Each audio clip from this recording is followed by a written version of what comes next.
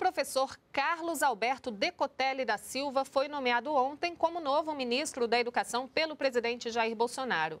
Decotelli é oficial da Reserva na Marinha e foi presidente do Fundo Nacional de Desenvolvimento da Educação, FNDE.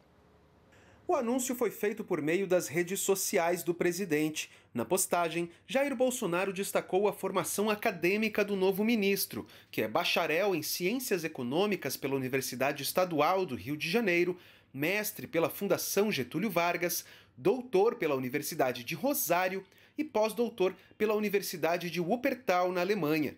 Carlos Decotelli é oficial da Reserva da Marinha e ocupou até agosto do ano passado o cargo de presidente do Fundo Nacional de Desenvolvimento da Educação, o FNDE, autarquia vinculada ao Ministério da Educação, responsável por executar parte das ações da pasta relacionadas à educação básica. Ele entra no lugar de Abraham Weintraub, demitido na semana passada.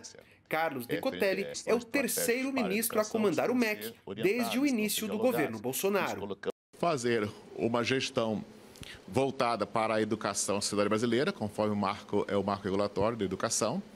Fazer, em segundo lugar, um melhor diálogo com as entidades representativas da educação, as universidades federais, os centros técnicos, melhor diálogo também com as entidades de classe, com sede, Undime, todos aqueles que querem fazer o melhor pela educação brasileira.